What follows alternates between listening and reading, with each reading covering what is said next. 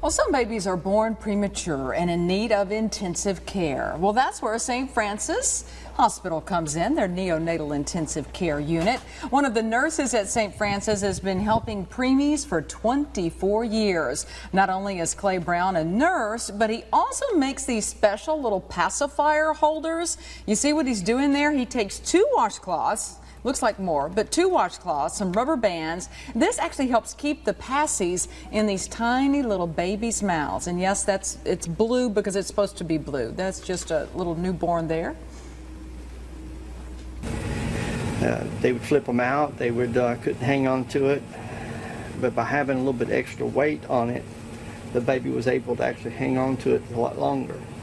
Now, Brown says he has no idea how many of those little cloth holders he's made over his 24 years of working there at the NICU, but I'm guessing it could be somewhere in the thousands. Mm. Now, speaking of St. Francis, you've probably heard of our Two Cars, Two Winners campaign. Well, we are nearing that deadline, folks. Today at John Ray Realty in Monroe, they pulled five names who now have a free raffle ticket for one of those two cars. The Realty Company held a Facebook promotion, and the names were chosen today during a Facebook Live event.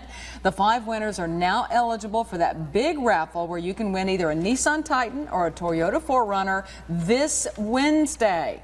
Deadline to buy your raffle ticket is Wednesday morning at 9 a.m. online at stfran.com. We also have several locations around town that you can go pick up the tickets in person if you want to, but we're actually giving those vehicles away this Wednesday here at 5 o'clock. Well, I'm, I'm, actually going to be at Sparks Nissan. We're going to pick the two winners. Then Friday morning, because see, they're two cars, right? Right. Friday morning, the winners get to bring their key fobs to Vantro Toyota and find out which car they won. How fun is that I know somebody that actually won one one time. Oh, really? Yeah, they was I am so excited about this. And tomorrow mm -hmm. we got a radiothon at Radio People. I don't want to take up all your time, but uh -oh. I could talk about this for a minute or two.